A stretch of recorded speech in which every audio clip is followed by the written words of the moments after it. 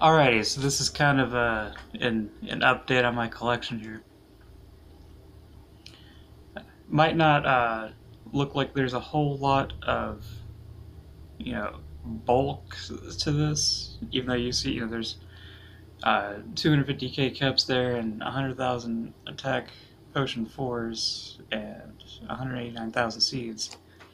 And you know your eye may kind of go to that first but uh, don't be fooled.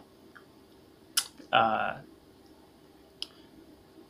these uh, these rares, I actually had to trade like for this bread, this thirteen thousand bread here.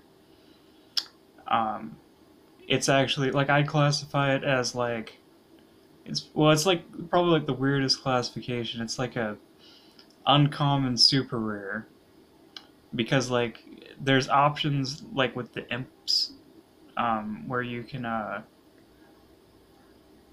you know, you can get a bunch of them, but if it wasn't for that, uh, that's tedious. No one does it, and if it wasn't for that, then um, you'd have to rely on buying from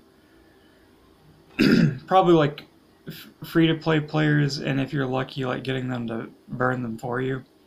But on each account, you can only burn like 50 before they start getting like really expensive. So to have like 13 over 13,000 in one spot is you know ridiculous. I had to trade um how many? I think it was yeah like 2 million of the commons for the bread. And uh then we got your you know burnt balls I, I would say like a, lot of people call them burnt stews.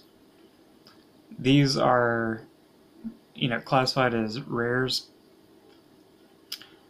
Um, because like you can't cook them on a fire you, you have to use a stove like no one does it they're not really used um, much I mean, none of the burns are used much, but I'm saying like the cooked version isn't really used for much of anything. So, you know, you'd have to go out of your way to just burn these, pretty much. Um, which, you know, is a very rare thing for people to do. Um, I had to pay like 20k for each one of these